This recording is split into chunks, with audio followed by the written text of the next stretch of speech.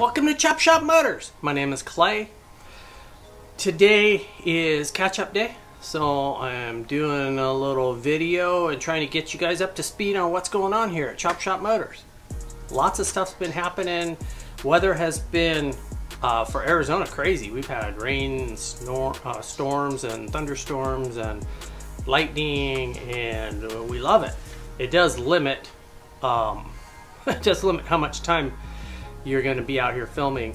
I was out here a couple days ago and you know the heat comes down which is you know everybody's like oh yay the heat's down. But the humidity goes up which probably makes it just about as bad. And um, you know between the heat the humidity and the mosquitoes I was like wow this isn't that much fun. So anyway today there it is a little bit cooler taking advantage of it we're going to get some of these updates done and get you caught up on some of the progress. So this video is all about Buffy, the 72 F100 that we got back from paint. I'm going to take you around, talk to you about kind of some of the areas that uh, that had to be dealt with, what it looks like, and then what my next steps are as we address either putting on chrome, putting things back together, uh, things of that nature. So let's take a look at the truck.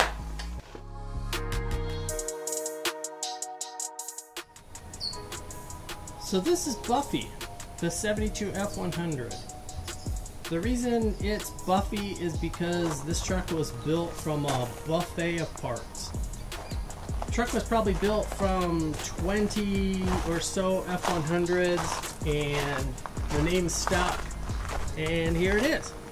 So what what did it need when we took it in for paint? Well the truck had a base coat clear coat that was peeling off. So to fix that basically for the most part had to start over and address it.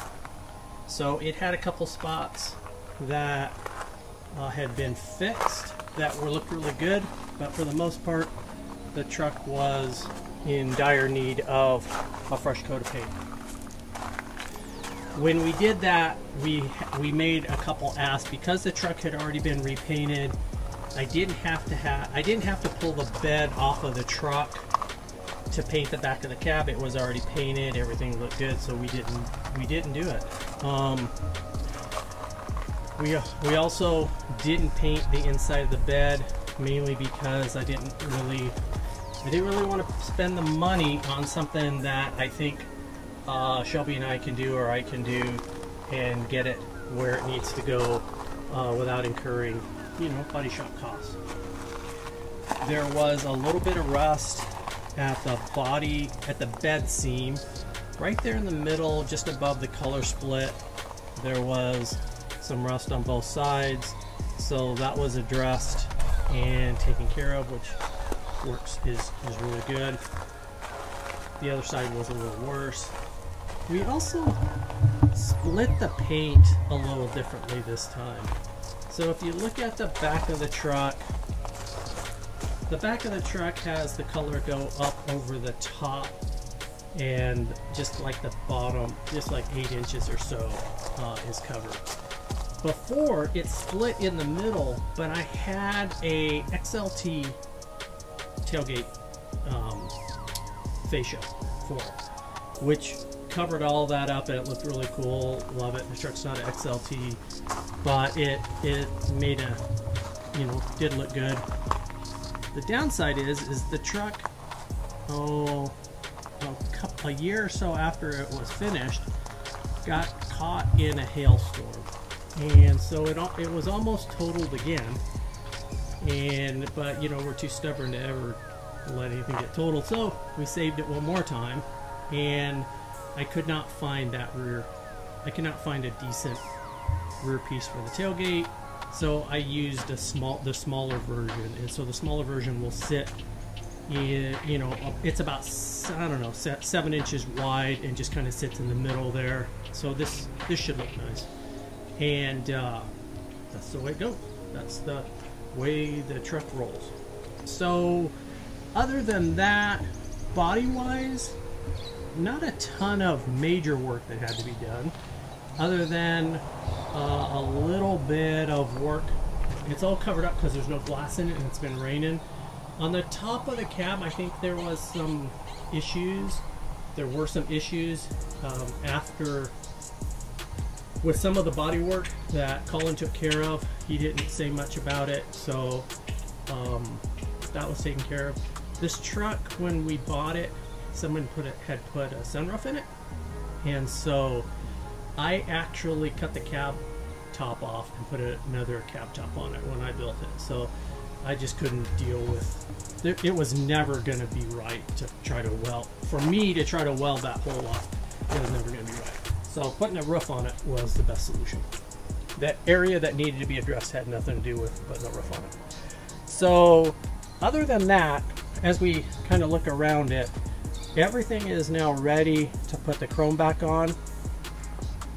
Looks good. Um, it's dirty.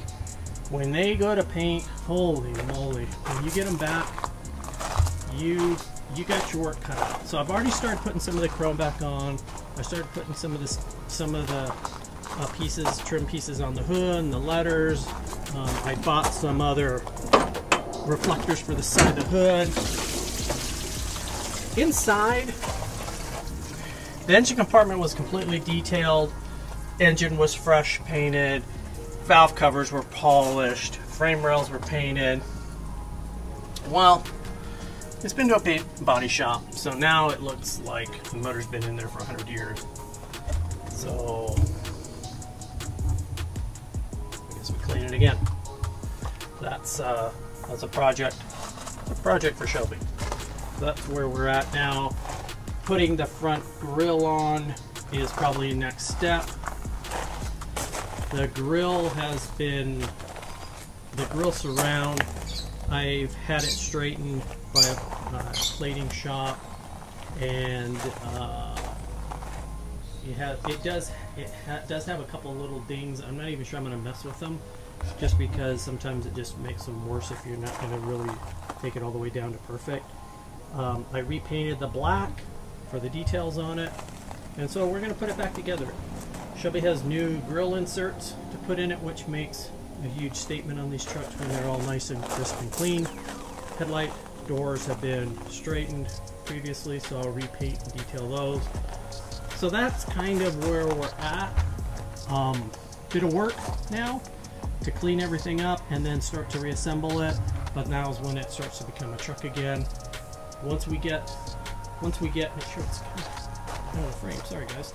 Once we get the window rubbers in, we can put some glass in it, and that'll be nice because it'll be much much better to have it rather than torqued up. But that's about it for Buffy. Stay tuned as we keep you posted. Um, right now, it looks good as far as paint, but it doesn't it doesn't look stellar because everything's still a little um, still a little rough around the edges. The wheels are dirty, the tires are ugly. You know, it's got a tarp over it, but once we get all the trim back on it and everything put on and cleaned up and armor all, it's going to be cool. I'm Clay for Chop Shop Motors, and we'll see you on the next project.